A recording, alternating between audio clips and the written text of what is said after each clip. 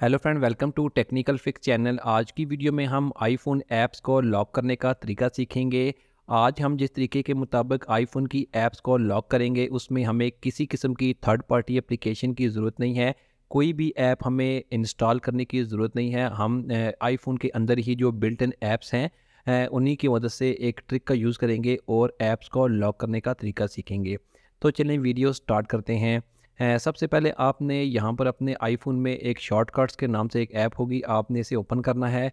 Open करने के बाद ये ऐप आपके सामने कुछ इस तरह से ओपन होगी तो आपने यहाँ से ऑटोमेशन को ओपन करना है। दरमियान में आप देख सकते हैं ऑटोमेशन ओपन करना है, इसके बाद आपने यहाँ से प्लस बटन पर क्लिक करना है। प्लस बटन पर प्रेस करने के बाद क्रिएट पर्सनल ऑटोमेशन बटन पर क्लिक करें। थोड़ा सा नीचे जाएँ तो यहाँ पर आपको ऐप का ऑप्शन मिलेगा। आपने यहाँ से ऐप पर क्लिक करना है।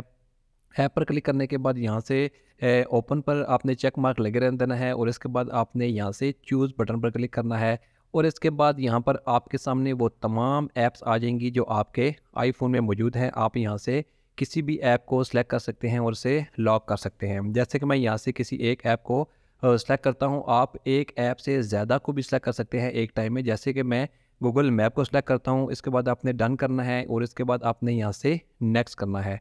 नेक्स्ट करने के बाद आपने ऐड एक्शन बटन पर क्लिक करना है। ऐड एक्शन करने के बाद आपने यहाँ पर सर्च बार में टाइप करना है lock screen lock screen select करने के बाद आपने यहाँ से लॉक स्क्रीन को सिलेक्ट करना है। सिलेक्ट करने के बाद आपने दोबारा यहाँ से नेक्स्ट करना है और इसके बाद आपने आस बिफोर रनिंग को यहाँ से ऑफ़ कर देना है और इसके बाद आपने यहाँ से डन करना है।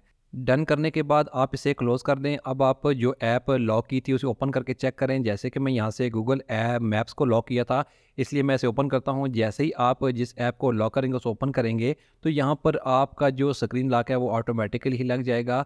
इस तरह से आप आईफोन में किसी भी ऐप्स को लॉक कर सकते हैं। जैसे कि आप देख सकते हैं, मैं जितनी मरतबा भी इसको ओपन करूँगा, यहाँ पर मेरा फ़ोन ऑटोमेटिकली ही लॉक हो जाएगा। तो आप इस तरह से आईफोन में किसी भी ऐप को लॉक कर सकते हैं। Thanks for watching this video